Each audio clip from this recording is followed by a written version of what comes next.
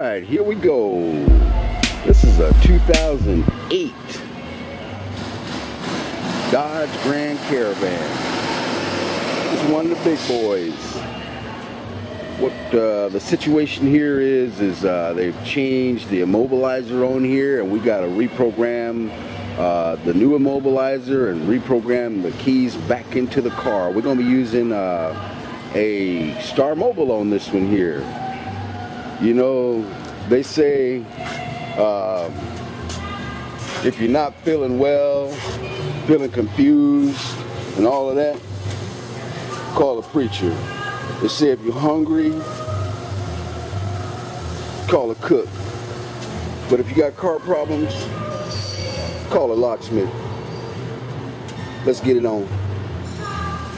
Okay, this is the module that was changed here on this car and this module is where you put the key in. You see how big that opening is right there? Well, I'm going to show you what key goes into this 2008 Dodge Grand Caravan.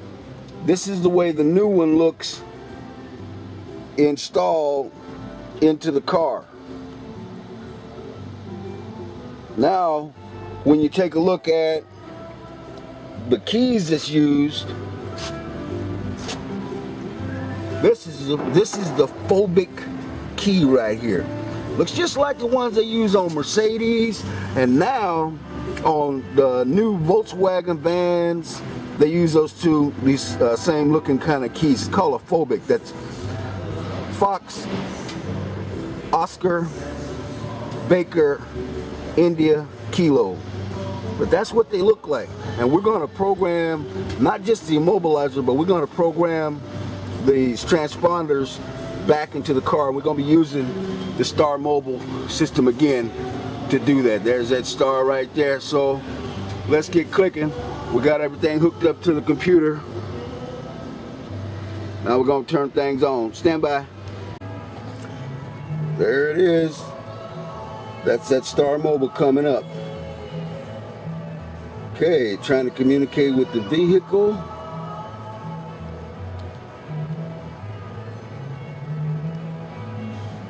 Okay. Because I don't have it turned on. Let's see if we can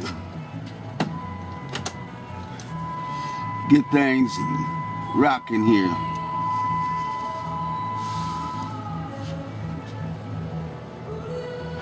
So you have to have the ignition turned on in order for the Star Mobile to communicate uh, with the car's computer.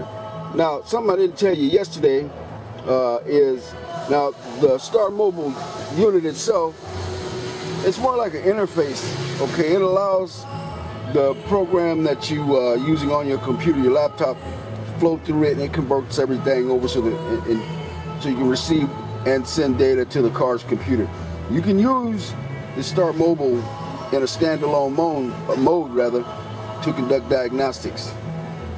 But we're going to try to do some programming now. It's a wonderful thing here to be able, uh, I would say to be blessed to be able to bring this uh, to you. Again, we're going to the ECU. And since they have changed the wireless control module on this vehicle, we're going to be reprogramming. Notice at the top on the menu bar there, you see the year, you see a body style, there's the engine size and the vent. So we're going to go down and notice on this car, the order of the modules, the various modules, is in a different order. But we're going to the wireless control module. Okay. And we're going to go to miscellaneous functions. And we're going to replace that wireless control module. Okay.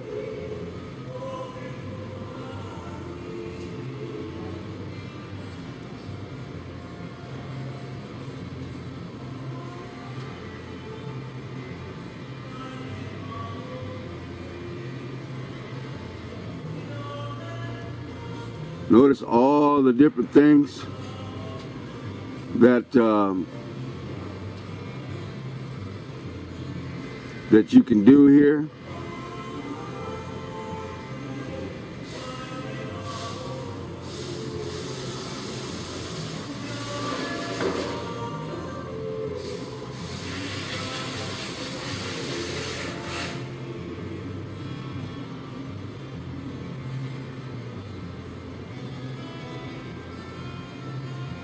Let me go backwards here. Because somebody has tried to do something on this car. And uh, we get all of these problems now in this module. So we're gonna try to we're gonna try to get rid of some of these problems so that we can we can uh, start anew. So I'm gonna try to clear these problems. Somebody's tried to do something.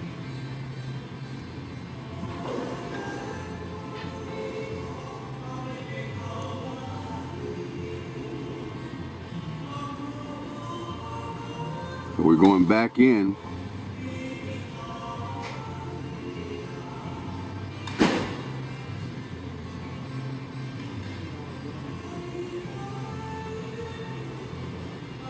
Man.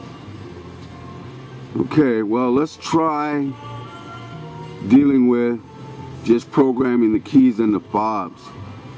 So we'll try doing that.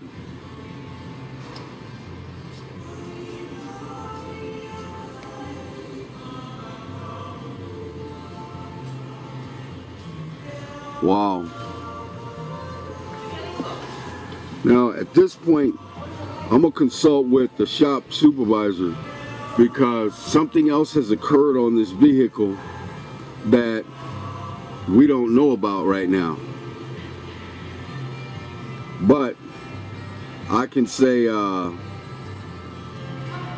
it is definitely, definitely, there's definitely a problem here.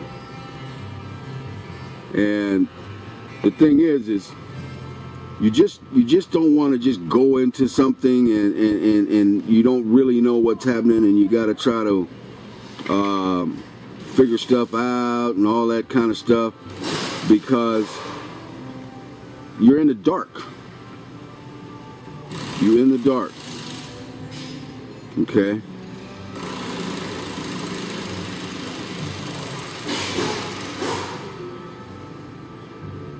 So if the car's in a it's in a lockout mode because somebody has tried to do something on this car that didn't have the right equipment and didn't know what they were doing. So now I'm gonna have to hook up a different piece of equipment to this car just to unlock this module. Okay, look at that. The wireless integrated module has exceeded the total number of false pin attempts and has entered the anti-scan lockout mode. Now this could normally take about an hour to do. I don't have an hour to spend on this car. So let me show you something else. We'll come to what would be considered, I guess, the end of of, of, of, of a day of situations. And the thing that I was concerned about or concerned with with that Chrysler uh,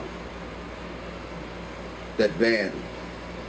What happened is they had had another locksmith on the site who thought that he could actually go ahead and program the wireless control module in and program the FOBIK key into the car and so happens that I guess he didn't he didn't have all the type of equipment that he needed to do that.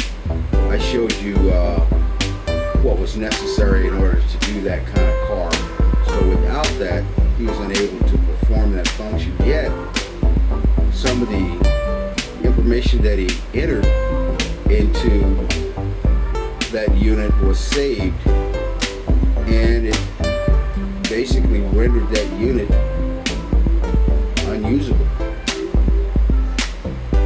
The only other side to that coin would be that if the unit was defective, if it was defective, then that would also disallow programming of that unit, that wireless control module. One thing you have to remember if you don't know the whole story, it makes it difficult to perform a function as is. One thing I probably should have recognized as kind of different was when the customer gave me the pin code.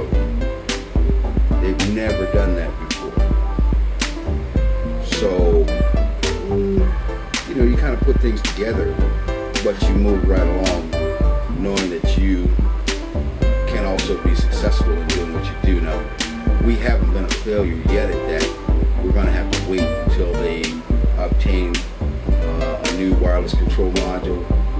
Then we'll go over and program things up as they should be and as they should have been. I consider it a blessing to be able to do the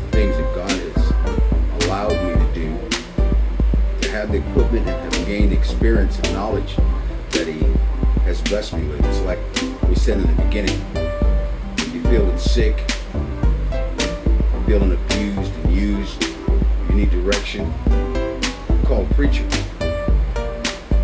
Feeling undernourished, hungry, call a cook. Now, nowadays, if you got car problems, call your locksmith.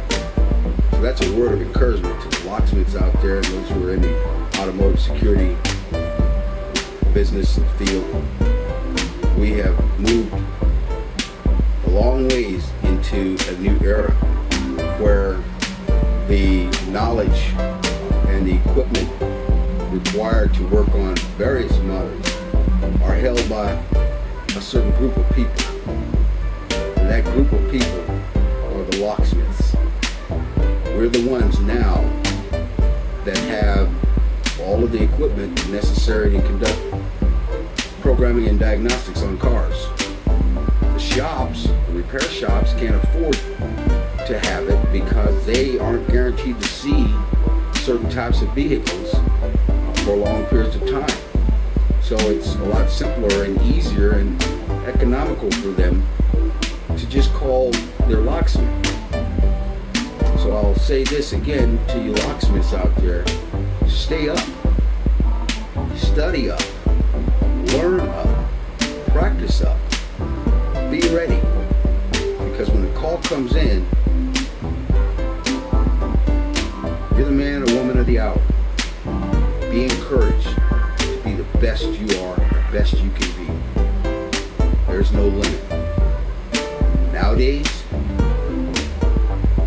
today you may be considered a master. Tomorrow, you're like last year's computer. So stay up, continue to study. Thank you for this moment of your time.